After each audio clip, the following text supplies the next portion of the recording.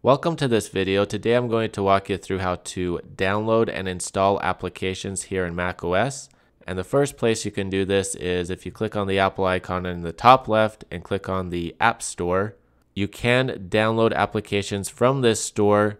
Many of them are free, some of them do have a fee, but Apple manages this store. And the main advantage in theory is that Apple has vetted these applications, which adds a level of security. There is still a small possibility that something got through, but in general, downloading something from the App Store is going to be safer than just downloading anything from the internet. And so you do have different categories and sections that you can explore. You just click on them and it will have different applications that you can download. Again, some have a fee, some are free. You can also search I'm going to search for web browser and hit enter. And these are the results that it has as far as web browsers. Now, there is DuckDuckGo, uh, which is a browser that I am familiar with, but let's say I want to use something different or an application that's not available in the App Store. The alternative option is to go to the internet. And so I'm going to click on Safari. Now, the application I'm looking for is LibreWolf, which is a web browser. So I'm just going to type that in plus macOS and hit enter. And then right here, macOS installation LibreWolf. So I'm going to click on that. And on Mac, the installation file is going to be a .dmg. If you've used Windows in the past, it's a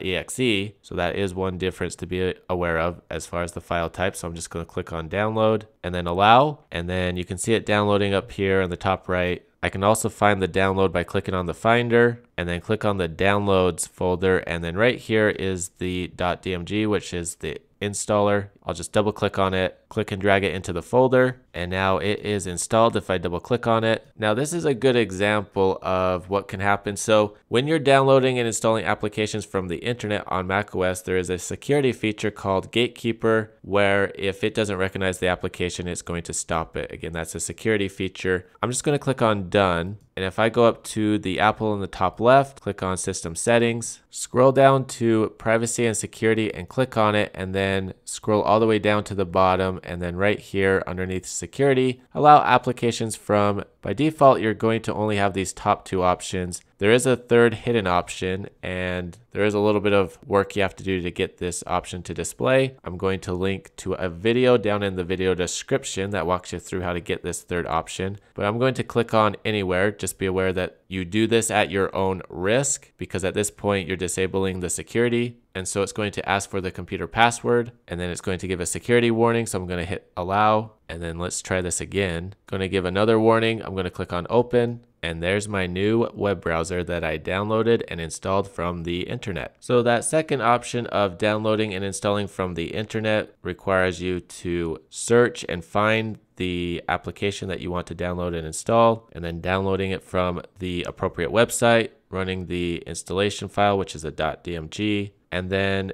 making sure that your security settings are set to what they need to be and then being aware that the security on macOS may or may not stop the installation if it does, you'll need to change the setting to anywhere. Again, I'll link that video down below, down in the video description if you don't have that option in the menu. But if you do have any questions or comments, please post them down below. If you like this video, please give it a thumbs up and please consider sharing it. And if you would like to support the channel, go ahead and hit that join button, the subscribe button, the thanks button, or that bell notification icon to get notifications on future videos. Thank you very much for watching. Hope you have a great day.